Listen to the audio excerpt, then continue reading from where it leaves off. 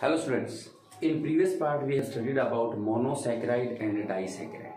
One more example of oligosaccharide. In this part we will discuss on polysaccharide. Polysaccharide.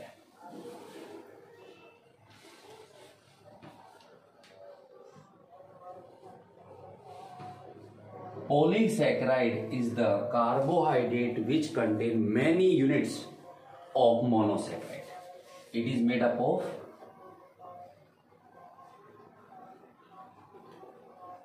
many units of or we can say that thousands of units of many units of monosaccharide. That is called polysaccharide. We can categorize polysaccharide on the different basis. First one is on the basis of types of monosaccharide the polysaccharide on the basis of types of monosaccharide is two types First one is on the basis of on the basis of types of monosaccharide. On the basis of types of monosaccharide, the polysaccharide is of two types. Which one? Homopolysaccharide. Homopolysaccharide. And second one is heteropolysaccharide. Heteropolysaccharide. What are homo and heteropolysaccharide? If all the monosaccharides units are similar types one type of monosaccharide units and form a long chain that is called homopolysaccharide it is made up of it is made up of one type of one type of monosaccharide units. That is called homopolysaccharide. For example starch and cellulose cellulose. Both are made up of one type of monosaccharide units that is glucose. And second one is heteropolysaccharide. In this polysaccharide there are units of monosaccharide which are dissimilar different. It is made up of different. It is made up of different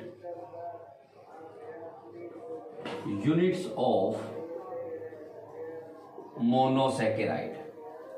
That is called heteropolysaccharide. For example hemicellulose. Hemicellulose. Hemicellulose may contain different types of units such like as xylose arabinose fructose and mannose there are different units then they combine and form a long chain of polysaccharide that is called heteropolysaccharide. On the basis of types of monosaccharide polysaccharide is two types. The second one on the basis of function the polysaccharide is also two types on the basis of function. The polysaccharide is of two types. One polysaccharide that is used as storage form and other one that is used to make the cell wall. Storage form or storage polysaccharide and second one is structural structural polysaccharide Storage polysaccharide. The plants synthesize food in the form of glucose. But we know that glucose is a reducing sugar. Then this plant transfer this glucose from another place in the form of sucrose. Sucrose is a disaccharide that is non-reducing sugar. But plant only store the food in the form of starch because starch is stable so storage form of polysaccharide is starch. And structural polysaccharide it means that makes a cell wall and that is cellulose. Cellulose.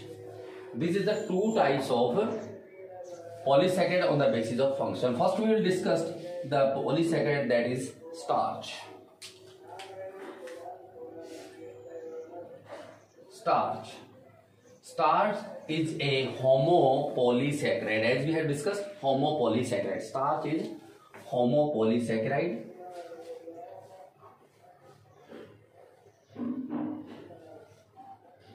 First one. Second, it is the storage form. It means the foods which is synthesized in the plant different parts in the form of starch. As we have already discussed plants synthesize food in the form of glucose but glucose is a reducing sugar. Then this glucose transfer from one place to another place in plants in sucrose form because sucrose is non-reducing sugar that is disaccharide. But only storage form that is starch. So it is the storage polysaccharide. Starch. Starch is made up of two components. So we can say that the starch has two components a starch has two components which one amylose and amylopectin amylose and amylose pectin. How these amylose and amylose pectin different from each other? In amylose, we know that amylose is the part of starch and starch is polysaccharide. It means amylose contain many units of monosaccharides. How many many units of monosaccharide present in amylose? There are 200 to 2000 units of monosaccharides present in amylose. This is the first difference. And in amylose pectin, 2000 to 20,000 monosaccharide units are present in amylose pectin. This is the first difference between amylose and amylose pectin. Second one, as we shown that starch is made up of glucose so amylose and amylose pectin also contain glucose. Which type of bond formation can take place in amylose and amylose pectin? 1,4 glycosidic glycosidic bond is formed in amylose. How we can show the 1,4 glycosidic bond? We know that the structure formula of glucose is this one this carbon number 1 carbon number 2 3 4 5 and 6 remains in the form of here this other it forms it binds with the other this one carbon number one, two, three, and 4 5 and this one is 6 here 1 and 4 it forms the glycosidic bond and this is called 1,4 glycosidic bond. The amylose can be seen glycosidic bond 1,4. Amylose pectin, it may forms two types of structure, two types of glycosidic bond. First one is it show 1,4 glycosidic glycosidic bond just like this one. It also show 1,6 glycosidic bond. One four glycosidic just forms just like as amylose, but it also shows one six glycosidic bond. How the one six glycosidic bond formation can take place in amylose pectin.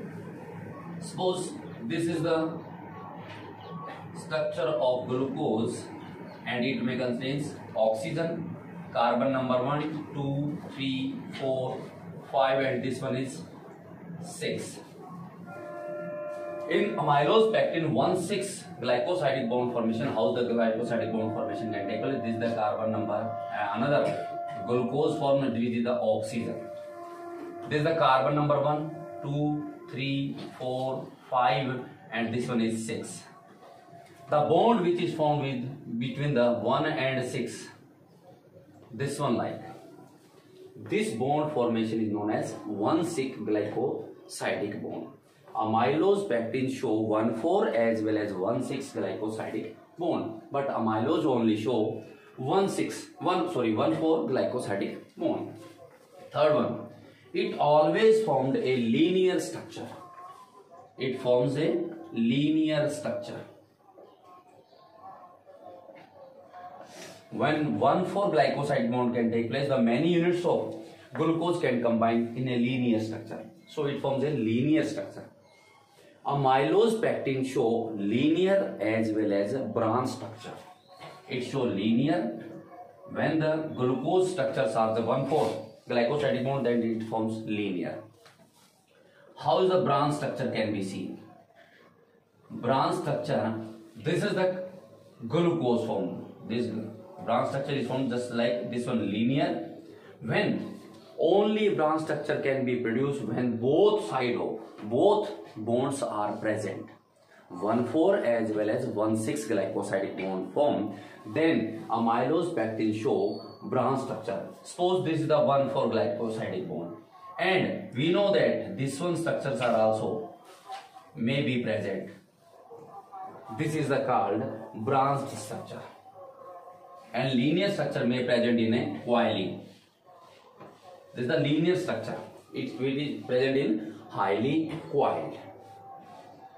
This is the major. Second ones, we know that starch when reactive with iodine. When the starch is mixed with the iodine the iodine color show blue black why the blue black color of iodine solution becomes this is due to the amylose starch show or represent blue black color. Blue black color with iodine with iodine this is due to the presence of amylose. This is due to the presence of amylose. Due to the presence of amylose, the iodine solution becomes blue-black color. Next one is starch. The starch may be present in food or we can say that in plants in two forms which one? In grain form or tuber. Tuber just like as potato but mostly the starch is present in grain form. How the grain form starch may be stored in the plants?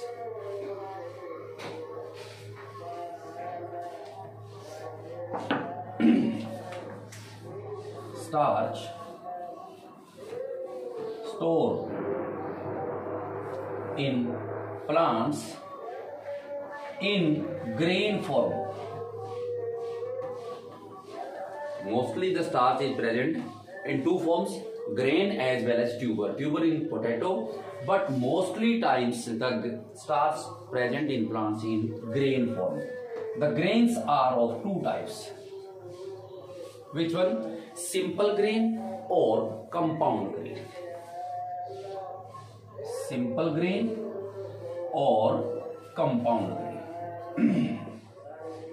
compound grains. How the simple grains may present? If the store storage of starch is at one place, suppose this one here, and it forms a many starch layer which is protected with many starch layer. This is the storage form and it is called hilum. Hilum is covered with many sheets of starch. Starch sheet. This form of grain is known as simple grain and it is found in maize. The example of simple grain is maize. Second one, if one hilum is present, if one hilum is present in the grain and which is covered with starch sheet, that is called simple grain. And if there are many hilum, two or more hilums are present and both um, are all different types of all hilums are covered with starch sheet that is called compound. For example, this is the hilum and it is protected with this seed another hilum, and this is also protected with the seed Then another hilum, it is also protected with seed and all these protected with the different starch sheath. This is called compound grain. An example of compound grain is rice as well as potato. The simple grain on the basis of hilum location. On the basis of hilum location, simple grain is of two types. On the basis of on the basis of hilum location.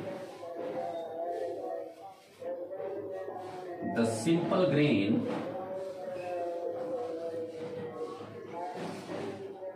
of two types. Which one? One at the hilum is present at the corner. Terminal. Such like this one. This is called extrinsic and another hilum is present in the center and there are many circle में भी present that is called concentric grain तो one is extrinsic extrinsic grain this the example of extrinsic hilum present at the one corner and there are many seat में present to cover this hilum another is concentric concentric grain If hilum is present center, there are many circle may be present. This type of grain is known as concentric grain. This is the use of use and structure of starch. The another structural form of polysaccharide is cellulose. The another structural form because we have seen that Polysaccharide is of two types on the basis of function. One is in the form of starch, that is the in the form of storage, that is starch. Another one which forms the cell wall, that is called cellulose. Cellulose. Cellulose is a homopolysaccharide. Homopolysaccharide. As we know that it may contains many units of monosaccharide. All the units are similar and that is formed from glucose. Starch is also formed from glucose and cellulose is also formed from glucose.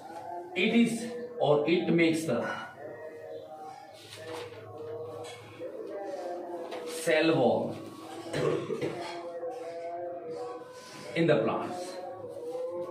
So, on the basis of different functions, storage and making of structures, that is called different starch and cellulose. Cellulose, this one. Glucose. In cellulose, always formed 1,4 glycosidic bond. 1,4 glycosidic bond. As we have seen that glucose or glucose it may contains oxygen carbon number 1 carbon number 2 3 4 5 and 6 remains in the form of open arm. Another attached with the other glucose units.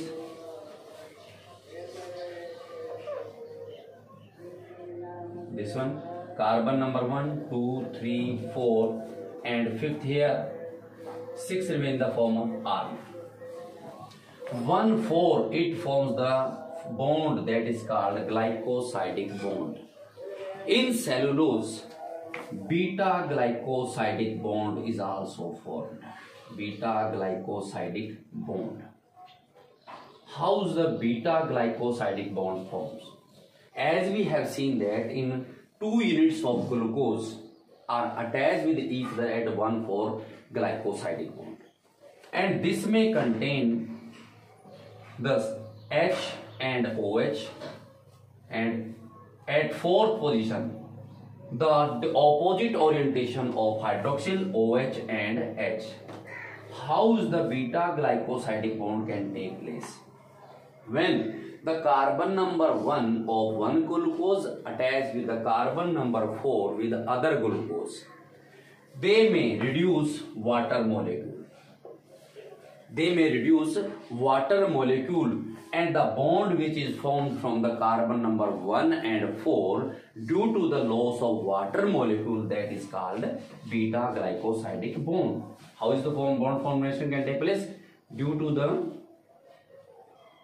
loss of water molecule.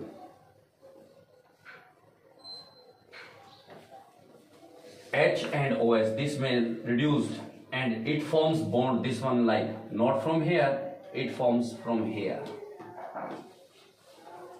This bond is known as beta glycosidic bond. Uses there are many uses of glyco uh, cellulose. Uses of cellulose. As we know that cellulose is a complex substance, so it makes the first cell wall in plants. Cell wall in plants. This is because it is a complex substance.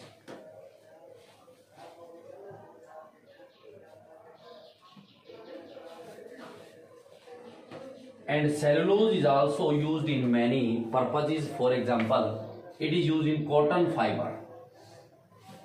Cotton fiber in which cellulose present may be nearly 90%. 90% cellulose is present in cotton fiber. Second one, the cellulose is also present in jute and hemp. Jute and hemp, which are also used as fiber. In jute and hemp, cellulose present in 40%. Cellulose mixed with other chemical and it may use in another types. For example, when cellulose when cellulose mixed with alkali or we can say that base it is used as yeah it forms rayon rayon is known as synthetic fiber synthetic another use of cellulose is when cellulose mixed with acetate and is called cellulose acetate that is used as shatterproof glass. Cellulose acetate is used as shatterproof glass. Shatterproof glass. We know that one glass that it will it, it is hit with another stone or particles, it breaks down and falls. But nowadays in automobiles, the frontal glass windscreen is made up of cellulose, film of cellulose, see acetate with the glass. And this type of glass when hit with the other stone, the glass may break down but it cannot be fall off due to the presence of film. Film shatterproof glass. So this shatterproof glass is safe for the drivers as well as the other one. Sixth, next one, cellulose nitrate. When cellulose mixes with the nitrate, it forms cellulose nitrate and it is used in explosive. It is very explosive. And one more types of use of cellulose is when cellulose methyl carboxyl or hydroxyl. When cellulose methyl hydroxyl becomes a combined mixture that becomes very soft and this type of mixture is used in making ice cream. Cellulose, methyl, hydroxide. It becomes very soft due to this softness. Due to this softness, it is used in making ice cream. these all types of homopolysaccharide we have discussed in next part we'll discuss of heteropolysaccharide